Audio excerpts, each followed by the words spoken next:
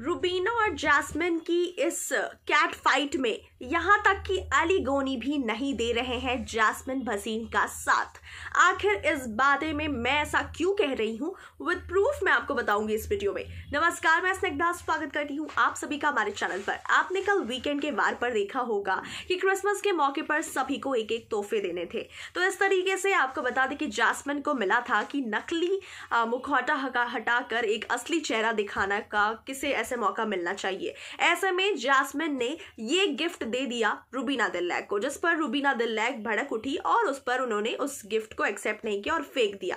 वहीं जब आती है रूबीना दिल्लैक की बारी तो रूबीना को मिलता है एक डम्बल जिसमें लिखा होता है कि जो सबसे वीक कंटेस्टेंट है आपके अकॉर्डिंग उन्हें ये गिफ्ट कीजिए। वहीं अब आपको बता दें कि जैसे जासमिन ने रूबीना को दिया, रूबीना ने भी जासमिन को गिफ्ट दे दिया और वहीं रूबीना के गिफ्ट देने पर जासमिन ऐसे भड़क उठी और उस डम्बल को फेंक दिया। और वहीं अपना फेस बनाकर एक्सप्रेशंस दिखाकर एली को बोलती है कि देखा तुमने किस तरीके से वो मुझसे जलती है, मुझसे नफरत करती है? तो इस बात पर एली गोनी भी नहीं देते हैं जासमिन का साथ। बोलते हैं कि वो वही उसने किया जो तुमने शुरुआत किया। तुमने शुरुआत किया था, उसके बाद ही रुबीना ने उस पर रिएक्ट किया था। इसमें किसी की गलती नहीं है, तुम शुरू शुरू करती हो तो ही रुबीना आगे करती है।